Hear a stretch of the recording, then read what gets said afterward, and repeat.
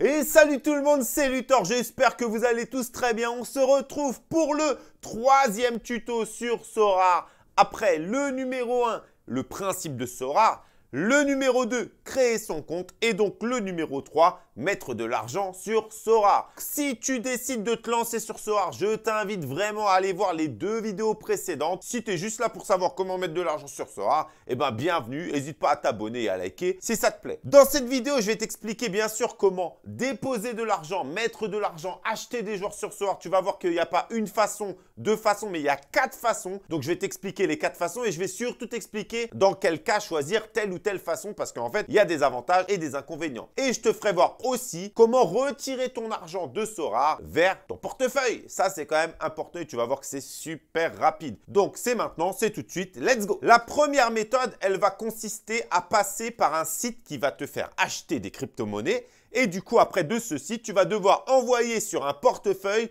pour envoyer sur Sora. C'est la méthode la plus compliquée, celle que je conseille surtout pas à des débutants. Cette méthode, je vais la conseiller à qui? Je vais la conseiller tout simplement soit à des personnes qui ont déjà des crypto-monnaies sur un compte Coinbase, etc. Soit à des personnes qui comptent aussi acheter des crypto-monnaies juste pour investir dans la crypto-monnaie et en plus sur Sora. Si tu veux juste sur Sora, fais pas du tout cette méthode, passe à la méthode suivante. Cette méthode, elle va aussi comporter un inconvénient important, c'est qu'il va y avoir quand même pas mal de frais. Donc si tu as un budget moyen, bah en fait, fais pas non plus cette méthode. Ça, c'est vraiment pour les gros budgets, on va dire au-dessus de 1000 euros, tu peux faire cette méthode. Mais même, je te conseille quand même les autres. Mais si tu veux vraiment passer par là, si tu es en dessous de 1000 euros, tu vas prendre tellement de frais bah, qu'en fait, tu vas être dégoûté. Donc, faut savoir que sur ce site, tu peux gagner des crypto-monnaies gratuitement, à peu près 8-10 euros. Donc ici, apprendre à gagner des crypto-monnaies, tu vas avoir des petites vidéos à regarder et après des questions à répondre. Et tu vois que tu, là, tu as 10 euh, dollars. Là, tu as 3 dollars.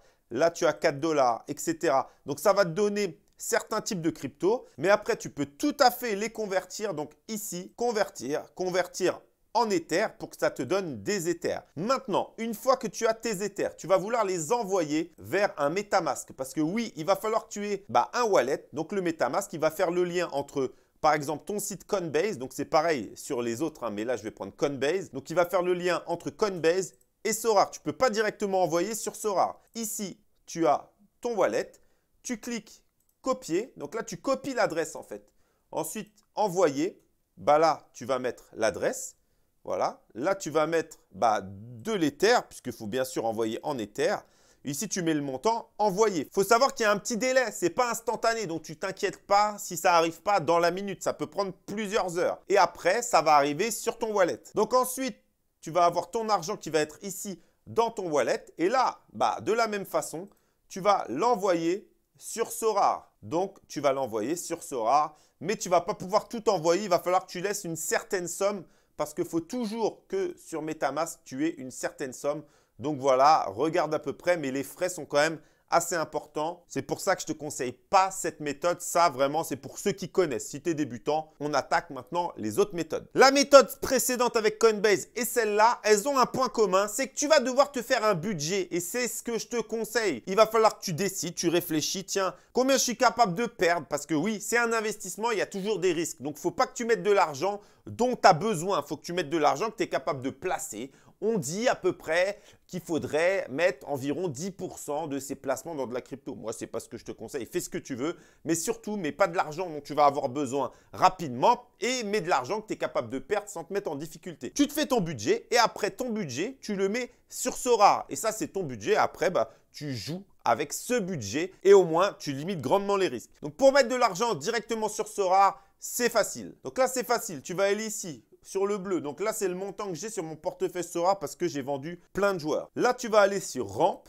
Ensuite, tu vas mettre la somme que tu veux déposer. Voilà, on va dire que 1000 euros. Procéder au total. Là, ça va t'envoyer un mail pour vérifier ton identité. Normalement, ça va aussi te demander de valider tes informations, donc de prendre une photo de ta carte d'identité. Donc fais-le sur ton portable, c'est 10 fois plus facile. Donc là, ça m'a envoyé le code sur mon adresse mail pour vérifier hop, que c'est bien moi. Et ensuite, tu vas avoir le choix entre soit ta carte bancaire, soit un virement. Donc là, les frais sont à zéro parce que tout simplement, Sorar, tout le mois de décembre, offre les frais. Mais toi, si tu te lances après le mois de décembre, tu auras des frais. Mais c'est cette méthode qui va te coûter beaucoup moins cher en frais que la méthode précédente. Mais je vais vraiment te conseiller cette méthode parce que c'est la plus simple, c'est celle qui coûte le moins cher. Et au moins, tu as ton budget, c'est clair, net et précis. Donc ça, c'était la deuxième méthode. Maintenant, il y a deux autres méthodes qui là, en fait, vont être pour mettre de l'argent à peu près au coup par coup. Ce qui fait que tu n'auras pas ton budget, mais ce sera si tu veux te faire plaisir sur un joueur, etc.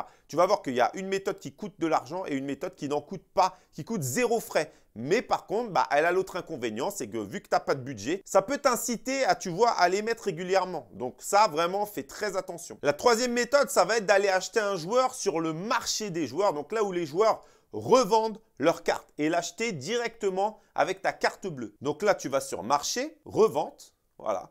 Et là, par exemple, bah voilà, il y a GEG euh, Alien machin qui revend ça, bah tu vois, je peux l'acheter tout de suite. Par contre, l'inconvénient, c'est que là, ça va te coûter 10%. 10% en frais sur ta carte bleue. Donc, tu vois, ça fait quand même mal. Là, le jour, il vaut 44,65 euros. Ça va te coûter 4 euros de frais. Là, ça fait très mal. Donc, fais très attention. Mais il y a la dernière méthode qui, elle, te permet de payer directement avec ta carte bleue un joueur sans avoir de frais. C'est tout simplement en achetant une carte qui est aux enchères.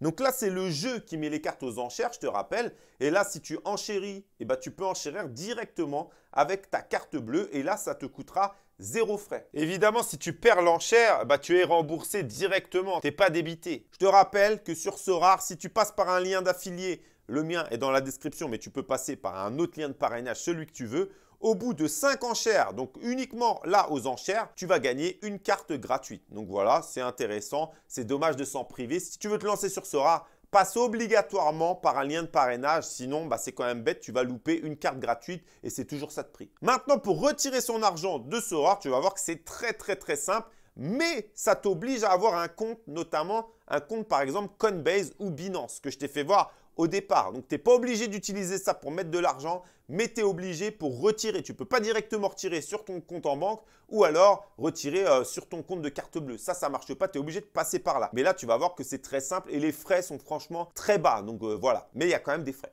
Si tu veux te créer un compte sur Binance, je te mets mon lien dans la description. Si tu veux passer par mon lien, tu n'es pas obligé, mais c'est aussi un lien de parrainage. Et si tu mets, euh, je crois, 80 euros sur Coinbase, donc par exemple, si tu veux mettre 80 euros, eh ben, tu toucheras 8 euros en plus. Et moi aussi, je toucherai 8 euros en plus. Voilà, tu vois, je suis transparent, c'est un lien de parrainage. Tu n'es pas obligé de passer par ce lien. Donc, je te fais voir maintenant la méthode. La méthode, elle est toute simple. Tu vas aller ici, tu vas aller sur retirer vers. Là, il va te demander, pareil, une adresse. Donc là, tu vas aller sur Coinbase. Donc là, tu vas aller ici sur envoyer, recevoir. Tu vas aller sur réception. Ici, tu vas changer, surtout tu changes, tu ne te trompes pas, sinon tu peux perdre ton argent. Tu mets bien ici Ether, c'est très important. Ensuite, ici, tu copies. Tu regardes à peu près ce qui est marqué OXD11 pour vérifier. Sur ce rare, tu colles OXD11, tu vois, c'est bien ça. Et là, tu mets la somme que tu veux envoyer. Donc, par exemple, si je veux envoyer 100 euros, ça va me demander mon mot de passe. Et voilà, là, ça va m'envoyer un email de confirmation et dans quelques heures, je vais avoir 100 euros qui vont atterrir sur mon compte Coinbase. Ensuite, si tu veux les retirer de Coinbase pour les envoyer, bah, par exemple, sur ton compte PayPal, c'est très bien PayPal, et ben, en fait, c'est très simple. Donc, tu vas devoir vendre ton Ether. Donc là, bah, je n'ai pas d'Ether hein, en euros. Donc là, par exemple, si c'était mon Ether, je mettrais vendre tout. Tu vois que là, j'ai 8 euros. Vendre maintenant, donc ça va vendre, ça peut mettre un petit peu de temps. Une fois que c'est fait, et eh ben en fait, dans tes actifs ici, tu vas avoir de l'euro. Tu vois, là, ça mettra ton argent en euros. Tu cliques dessus et là, retirer, tu vois, retirer, continuer et là, ça va t'envoyer directement sur ton PayPal. Donc, tu vois que pour retirer de Sora vers ton compte, c'est franchement très facile. Voilà les amis, c'était le troisième tuto sur Sorar. Dans le prochain tuto, on parlera bah, du budget. Quel budget il faut pour se lancer sur Sorar? En fait, tu vas voir que ça va dépendre de plein de trucs et on donnera ça dans la prochaine vidéo. Si ça t'a plu, n'hésite pas à t'abonner et à liker. C'était Luthor. Ciao les mecs